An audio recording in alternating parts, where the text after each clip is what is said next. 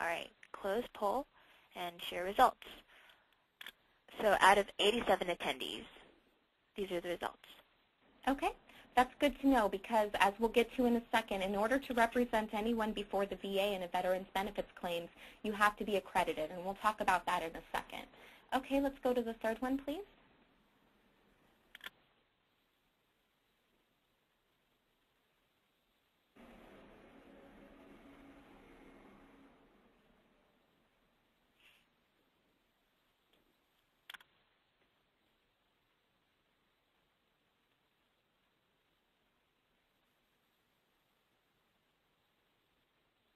All right, a couple more seconds. Five, four, three, two, and close poll. Share results.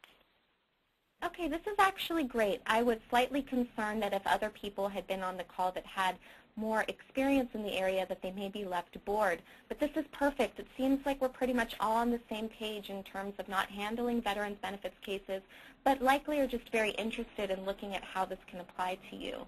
So again, I encourage you at the end of the presentation to contact me if there's other information that we weren't able to get to that you think would be useful for your practice, and we can always talk about setting up another kind of training.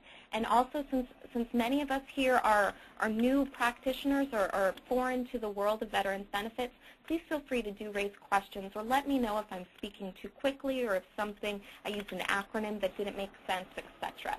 So we're going to hold off on question four until the end. Let's just go ahead and get started.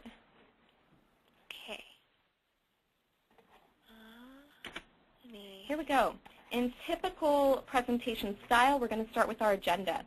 I'm going to begin with an embarrassingly cursory overview of the Department of Veterans Affairs,